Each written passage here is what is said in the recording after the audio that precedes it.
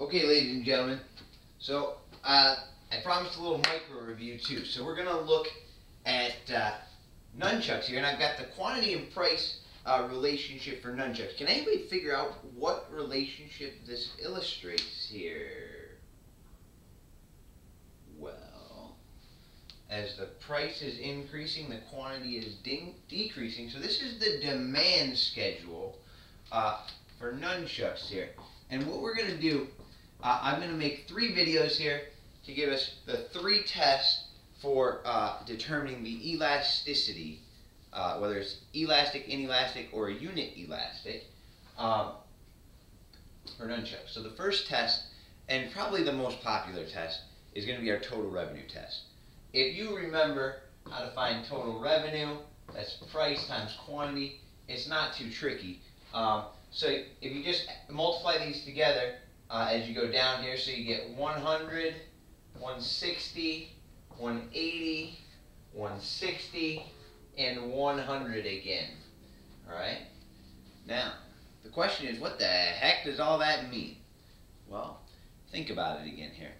And, and I always like to use, think of the examples that we talked about of an inelastic good. What's the one that we always talk about?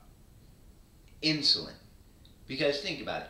If the price of insulin goes up, uh, is anybody going to stop buying it? No. The quantity is going to not change too much at all. Uh, and so the price goes up and the total revenue goes up because people are going to continue to buy it. They're going to continue to purchase it.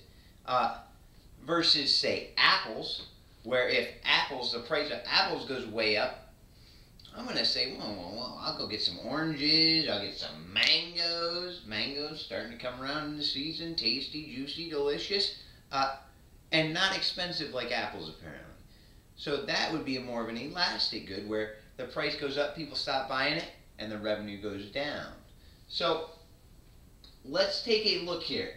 If you look from 10 to 30, in this stretch here, the price went from 10 to 30, so the price went up. Total revenue did what?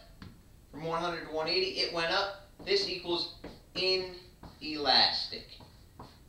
So if they operate in the same direction, inelastic. And you can think about it in the reverse too. Uh, so the price went down from 30 to 10, the total revenue went from 180 to 100, uh, still inelastic. Now if you look through from 30 to say 50, the price has gone up from 30 to 50, but in this case, the total revenue has gone down. Equals elastic. And uh, we don't have a range here where we have unit elastic because 6 is our turnaround point here. Uh, but if you see the price changing and the total revenue staying the same, you're unit elastic.